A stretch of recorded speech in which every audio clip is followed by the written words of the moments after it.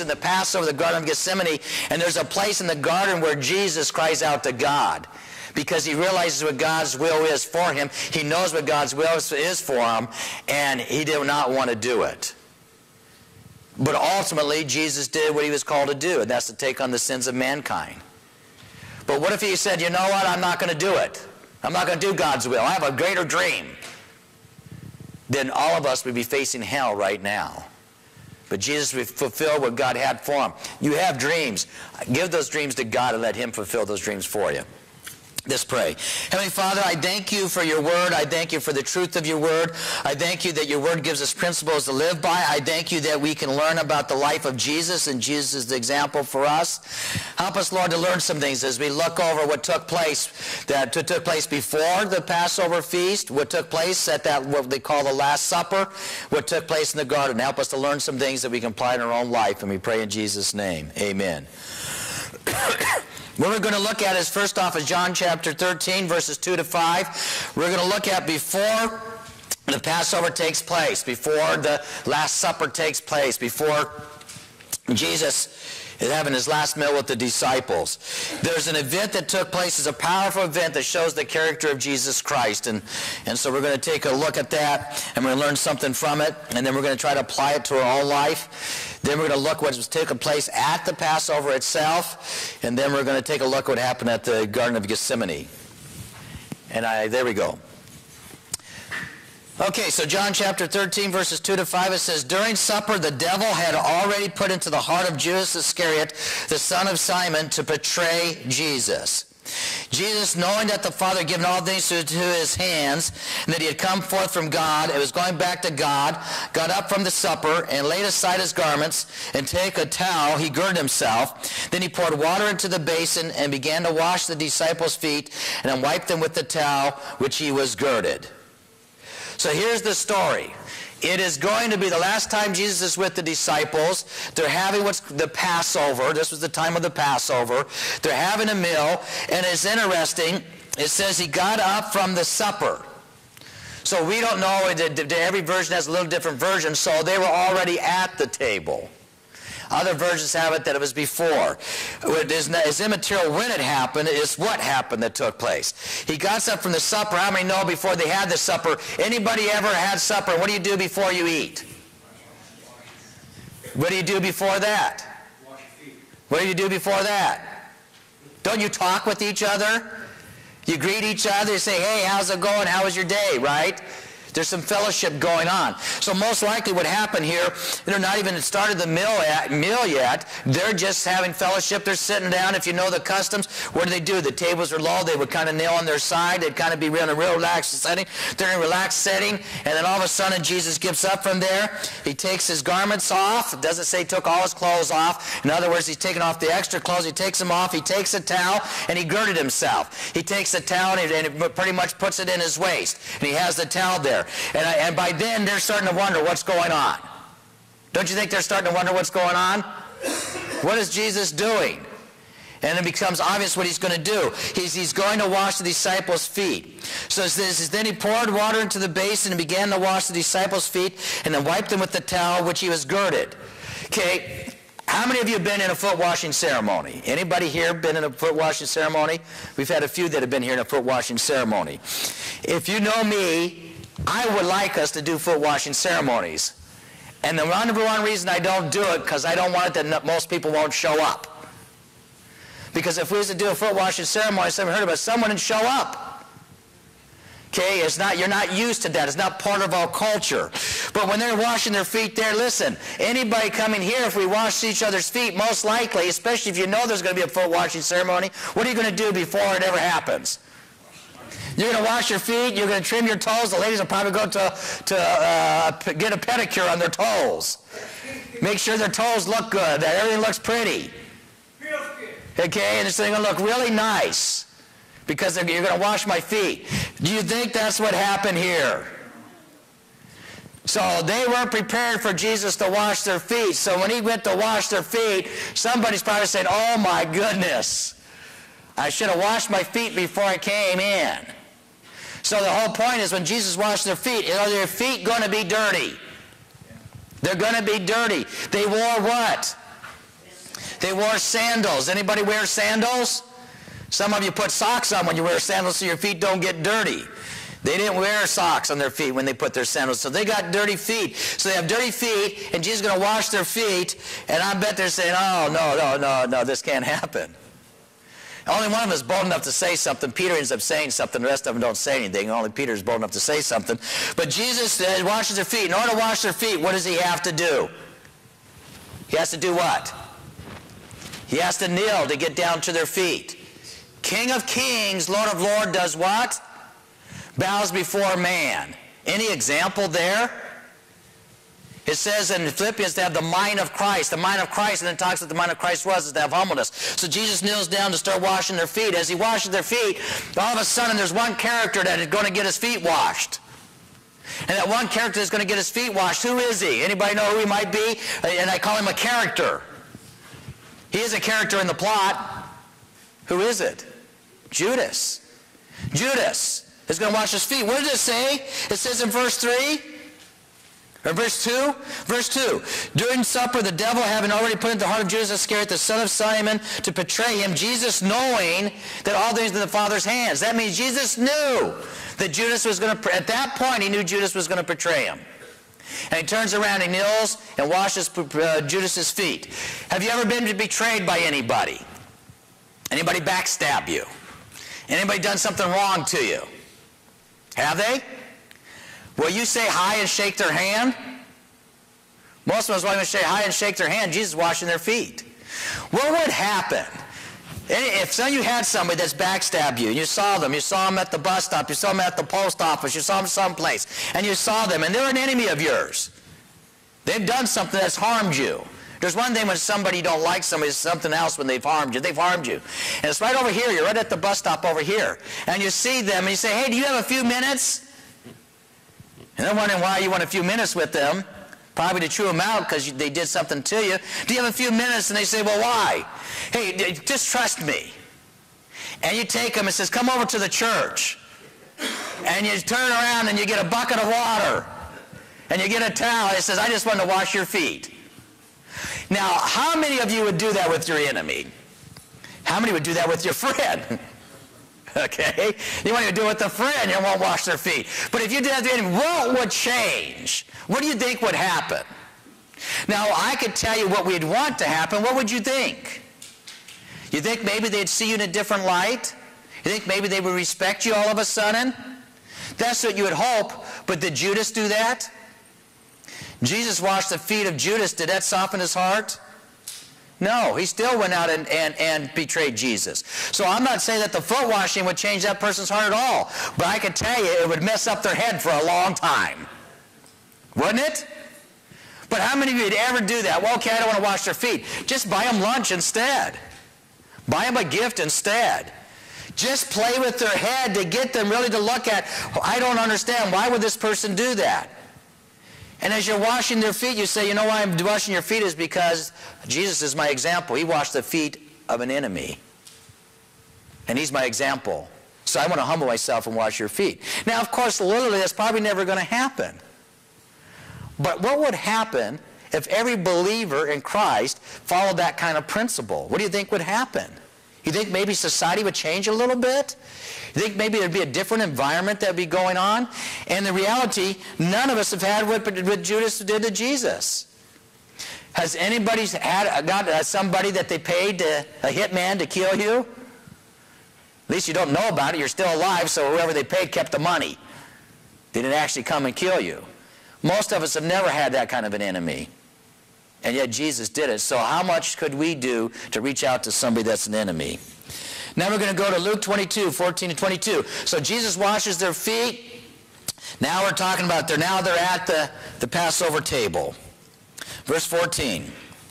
When the hour had come, he reclined at the, when the hour had come. In other words, right at the right moment. When it was time. There's a time and a season for everything. When the hour had come, he reclined at the table and the apostles with him.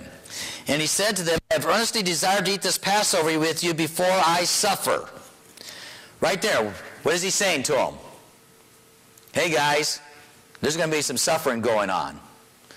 I want to eat this before I suffer. For I say unto you, I shall never eat again until it's fulfilled in the kingdom of God. I will never eat again with you. What should the disciples know at that point in time? What should they know? Jesus is going to be around. He's not going to be around. He's going to go away. Something's going to happen to him. At this point, they, he's told them before that he's going to be killed. They don't believe him. He's telling them again. He's preparing them, letting them know. And it says, I say to you, I'll never eat again until it's fulfilled in the kingdom of God. Now listen, it is fulfilled in the kingdom of God. People think until I go to heaven. That's not what it's saying. Until it's fulfilled in the kingdom of God. Until what's fulfilled? What he's supposed to do. What was he supposed to do? Take on the sins of mankind, die on the cross, resurrect. Because we know that Jesus ate after he's resurrected. Before he went to heaven, he, ate.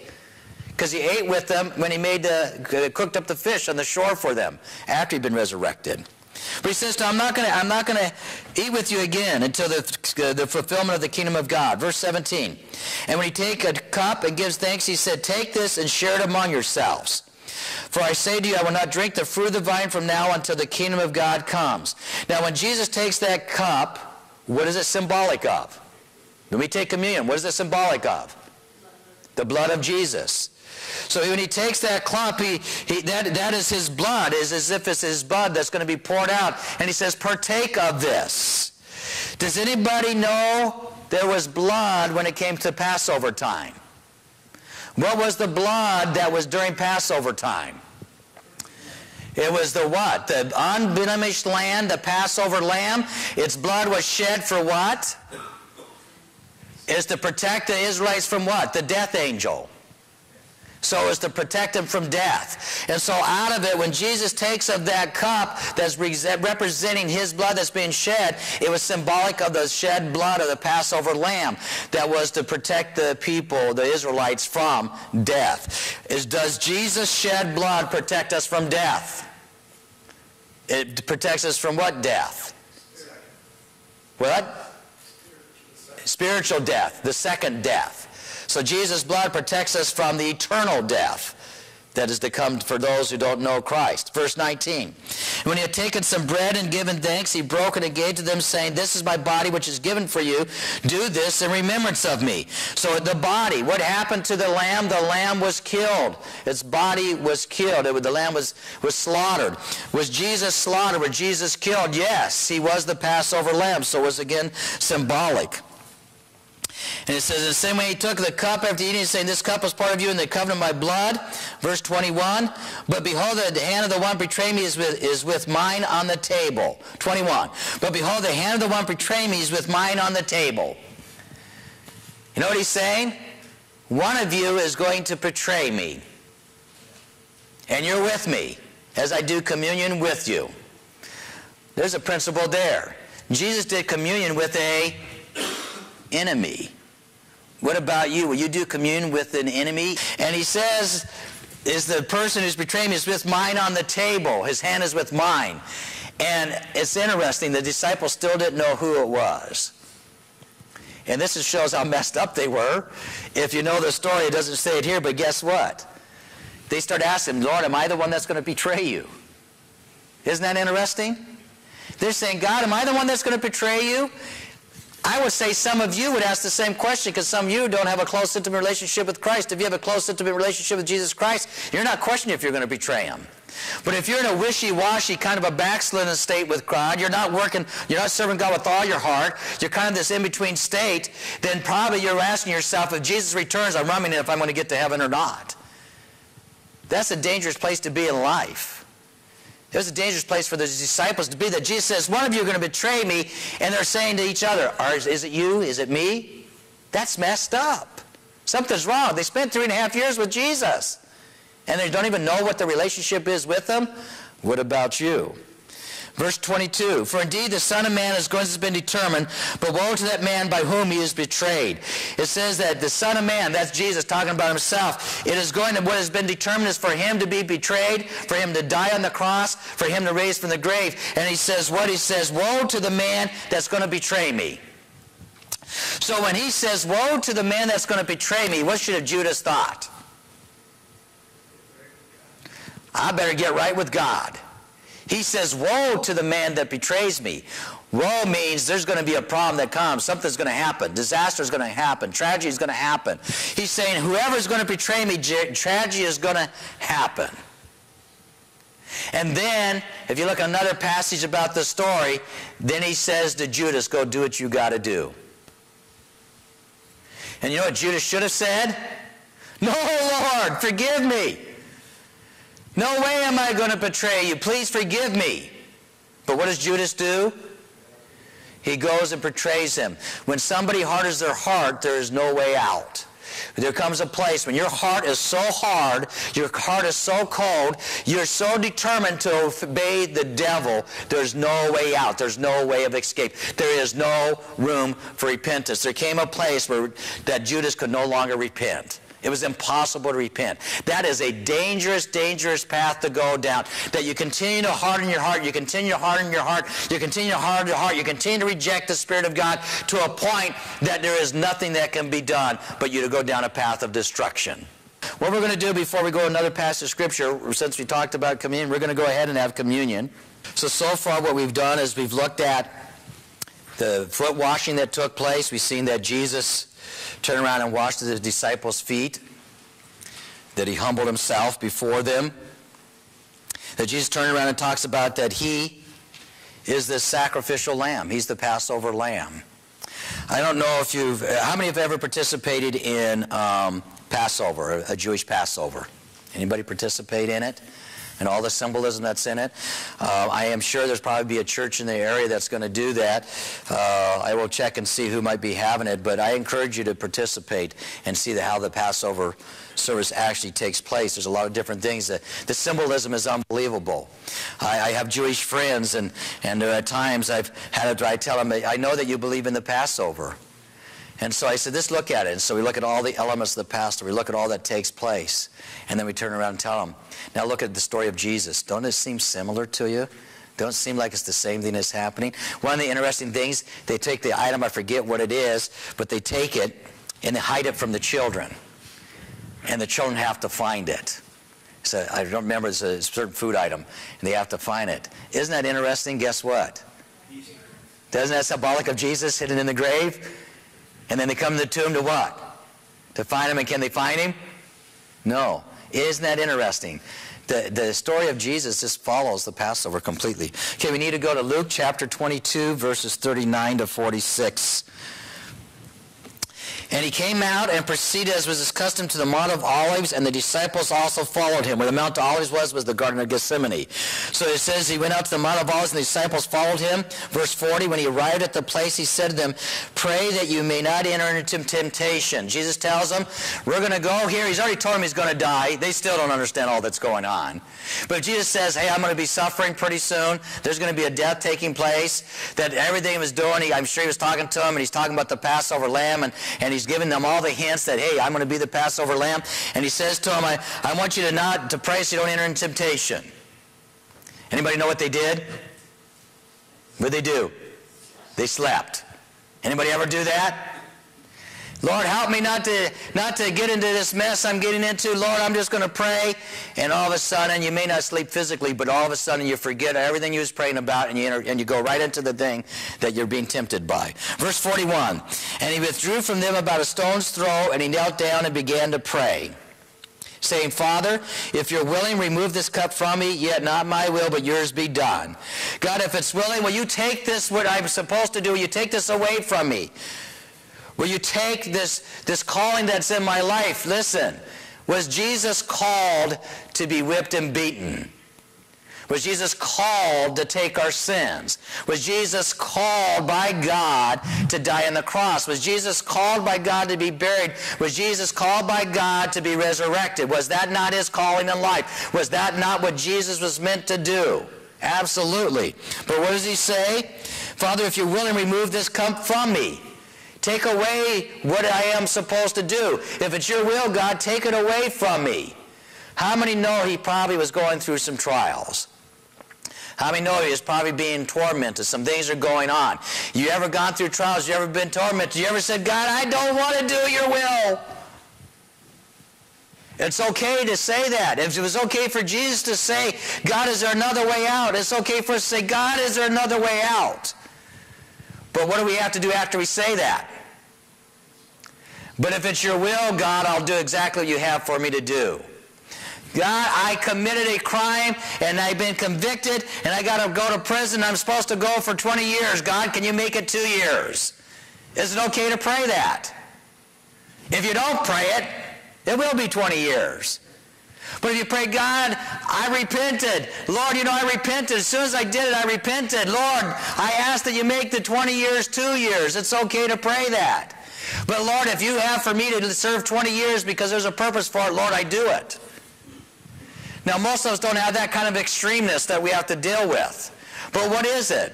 Lord, if this relationship is meant not to be, take it away from me. Lord, if this job is not what I'm supposed to have, Lord, take it away from me. Lord, if that house that I want that's over right, it's right over there on First Avenue and 128th, and I really want it, that's my dream house. But if it isn't your will, Lord, take it away.